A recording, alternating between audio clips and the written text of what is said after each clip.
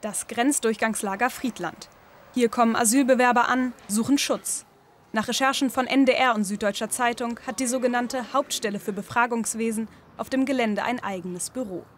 Hier, wie in anderen Erstanlaufstellen in Deutschland, soll sie Asylbewerber befragen. Das Ziel: Informationen über mutmaßliche Terroristen. Sie haben mich über alle möglichen Führer der Al-Shabaab befragt und ich habe ihnen alles gesagt, was ich wusste. Die Hauptstelle für Befragungswesen ist offiziell dem Bundeskanzleramt untergeordnet. Sie arbeitet mit dem BND zusammen. Ist ein befragter Asylbewerber besonders hilfreich, wird sein Asylverfahren vorrangig behandelt. Wenn die Hauptstelle für Befragungswesen ein ernsthaftes Interesse hat, dann bittet sie den Anwalt, sich aus dem Verfahren zurückzuziehen. Und das ist auch immer das Zeichen, dass dann sehr schnell ein Reiseausweis für Flüchtlinge ausgestellt wird und gegebenenfalls die Familie nachkommen kann. Der BND soll die gesammelten Informationen an US-Behörden weiterleiten.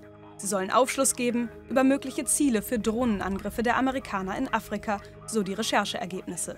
Jede Information, jedes Puzzleteil hilft beim sogenannten Targeting, bei der Zielerfassung.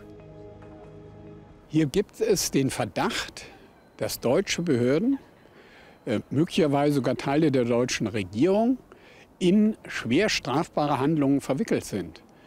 Weil diese Killaktionen äh, durch Drohnen, das sind meiner Auffassung nach illegale Hinrichtungen.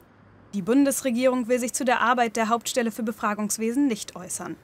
Die geheimdienstliche Arbeit soll nicht gefährdet werden.